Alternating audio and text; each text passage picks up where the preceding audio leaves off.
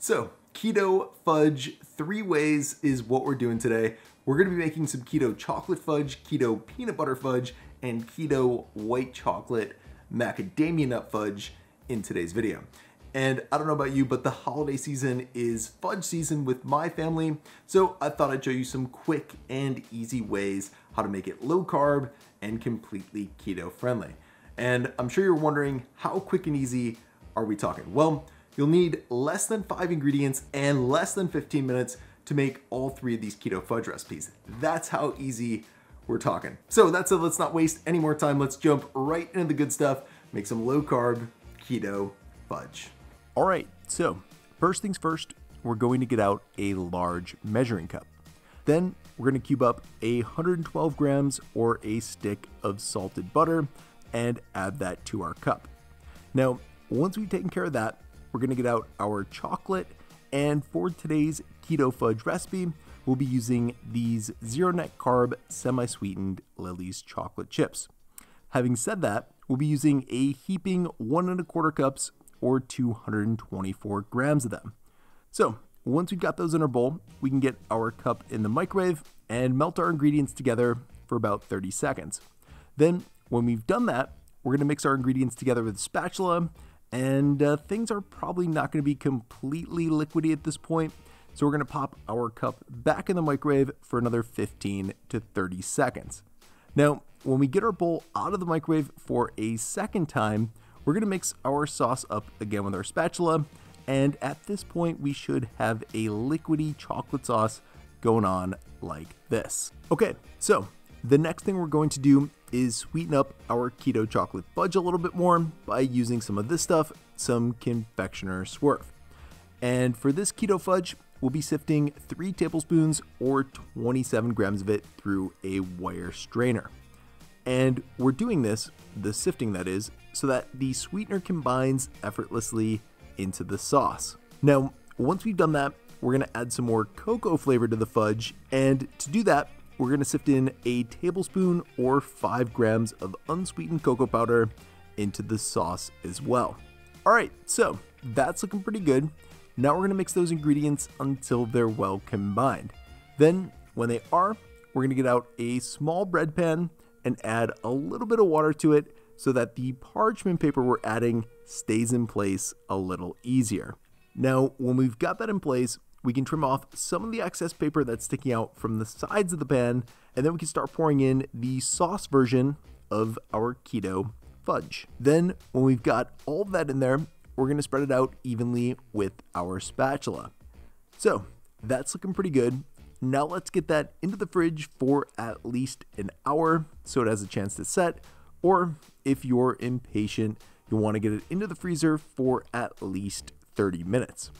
That said, once the chocolate fudge has set, we'll want to get it out onto a cutting board and use a very sharp knife to cut it into 21 small cubish shaped pieces. Having said that, they should end up looking something like this and as you're seeing here, I like to add some coarse flaky salt to the top of my keto chocolate fudge for some added flavor and deliciousness. Oh, and if you're wondering what the consistency of this chocolate keto fudge is when you bite into it, this is what you can expect. Some rich, chocolatey, melt in your mouth deliciousness. All right, so now we're gonna make our keto peanut butter fudge. And as you're seeing here, the first thing we're gonna do is add just less than a half a cup or 80 grams of refined coconut oil to a large measuring cup. Now, the reason we're using refined coconut oil is because it doesn't taste like coconut at all. Whereas if you use unrefined coconut oil, you will taste the coconut in your keto peanut butter fudge. Anyway, once we've added that, we're gonna add some natural, no sugar added creamy peanut butter. And for this keto fudge recipe, wanna add a cup or 256 grams of it to our bowl. Then, when we've taken care of that, we're going to sweeten up the fudge by adding some zero carb keto maple syrup. And for today's keto peanut butter fudge recipe, we're going to add a quarter cup or 60 grams of it to our bowl. Okay, so now that we've got that in there, we're going to melt our ingredients together in our microwave for just about 30 seconds. Then, when they're done in there, we're going to use our spatula to mix them together until they're well combined. And again, just like with our keto chocolate fudge recipe, we'll want to melt our peanut butter fudge a second time for 15 to 30 seconds in the microwave as well. Then, when that's all set, we'll want to mix all that peanut butter deliciousness up again until we get a consistency that looks something like this. Now, at this point, we're ready to get our small bread pan out and prep it just as we did before. And then when our bread pan is ready, we can pour our liquid keto peanut butter fudge into the pan. And again, just like we did last time, we're gonna use a spatula to evenly distribute the fudge in there. So after we've done that, we are all set to get our fudge in the freezer for about an hour so it has a chance to set. Then when it has, we can get it on a cutting board, get out a sharp knife and cut our keto peanut butter fudge into 21 pieces just like we did with our chocolate fudge. And as far as what this keto fudge ends up looking like, it looks like this. Pretty incredible, right? Okay, so moving on, we are going to make the white chocolate macadamia nut keto fudge recipe. And as you're seeing here, this recipe starts with us prepping a half a cup or 60 grams of macadamia nuts. So once we've added those to a small Ziploc bag, we'll want to crush them up into tiny pieces. And honestly, the bottom of the measuring cup that we've been using to make all of our keto fudge recipes at this point will work perfectly to do this. Now, when we've got those looking how we want them, we're to set them aside and start cubing up some salted butter. And just like the first low carb fudge recipe we did, want to use a stick or 112 grams of it. Now, when we've added the butter to the bowl, we're going to add some of these keto friendly white chocolate chips as well. And for this recipe, we're going to add a heaping one and a quarter cups or 224 grams of them. So after we've got those in there, let's give them a quick 30 second melt in our microwave and then mix them together with a spatula until combined.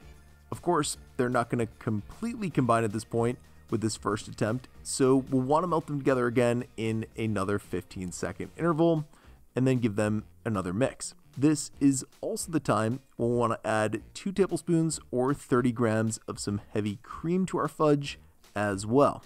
And then when we've added that, we'll of course want to mix it into our other ingredients as best we can, and then we can give it one last 30 second melt job in our microwave. Then when that's taken care of, We'll of course want to mix everything in our bowl until we've got a thick, liquidy, syrup-like consistency going on in there like this. Also, at this point, we're going to add and mix about 3 quarters of our crushed macadamia nuts from earlier into our sauce as well. So, just like we've done with our previous keto fudge recipes, we'll want to prep our small bread pan with some parchment paper and then add our fudge to it. However, this time we're going to add a nut topping to the top of our keto fudge with those remaining macadamia nuts that we have left over. Then, when we've added those, we can refrigerate our fudge for around an hour, or to speed up the process, about a half an hour in our freezer. And then, once the fudge sets, we're going to place it on a cutting board and then use a sharp knife to again cut it into 21 pieces. And then once we've done that, we're to end up with some incredibly rich and tasty white chocolate macadamia nut keto fudge like this. As always, for more info on today's keto fudge recipes, check out the video description below, and I hope you enjoy them.